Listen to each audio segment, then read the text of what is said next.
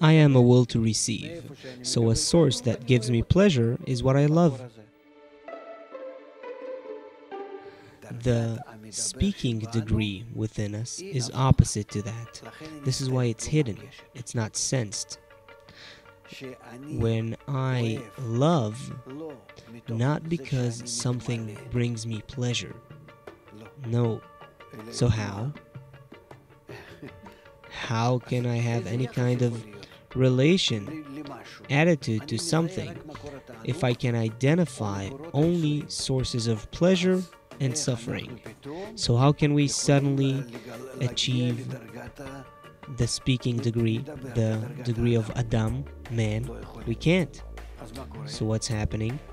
A new point awakens within us, and it's coming from a whole new world, a new reality that doesn't belong to us here at all.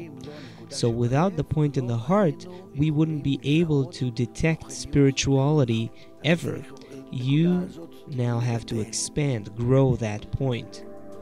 And that is exactly where you need others who have the same point in the heart and the upper light to put these points together.